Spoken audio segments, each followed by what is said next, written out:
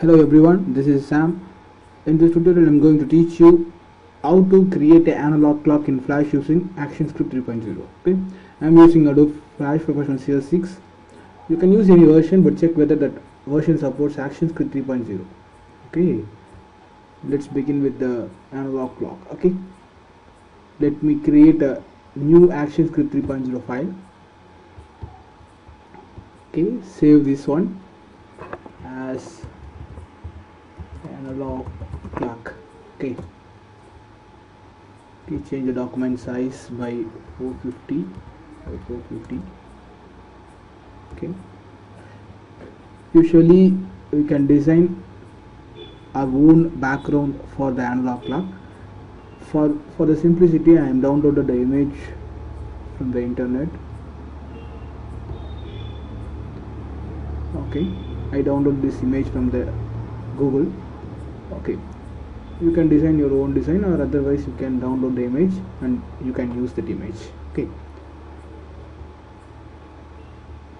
Okay. Name this layer as bg okay. Then create a new layer. Rename it and okay draw a new line with the stroke height as 2 okay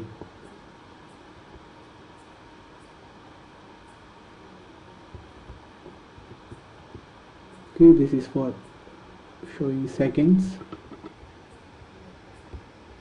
Okay.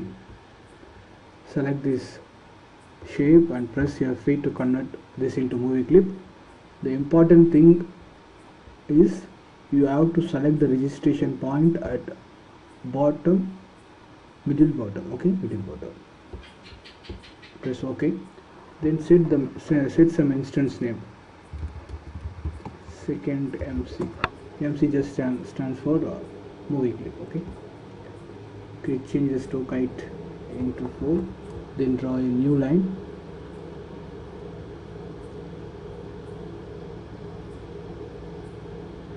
Okay. Select the new line. Okay. Press your feet. Okay. And give the instance name as minute MC okay and change the stroke height to 6 and draw one more line.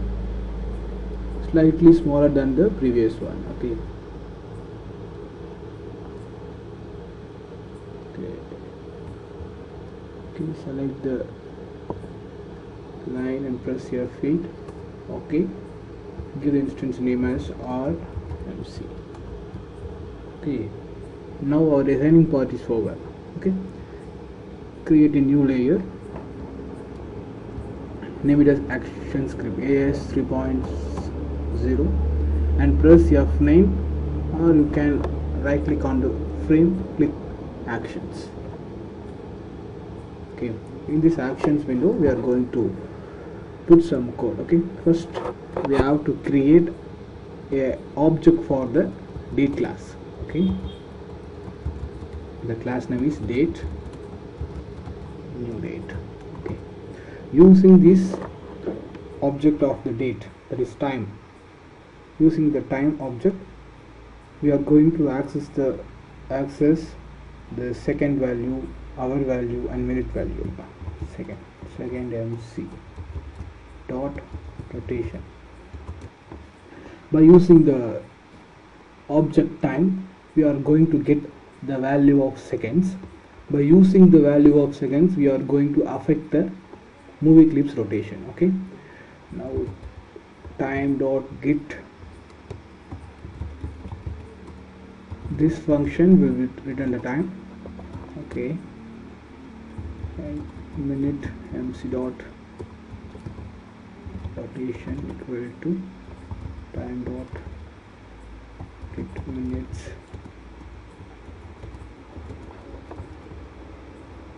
Okay.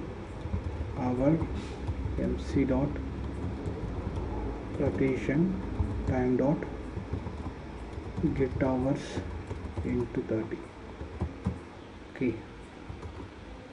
Compile the movie by pressing control plus enter. Okay okay the time is 9:38 uh, seconds is 13 okay but uh, the analog clock is not running. Okay. Click and press F5 do the same for the another two layers too. Now check the movie by pressing ctrl plus enter. Okay now the time is running. Okay okay this is all about analog clock. Thanks for watching this video. Thank you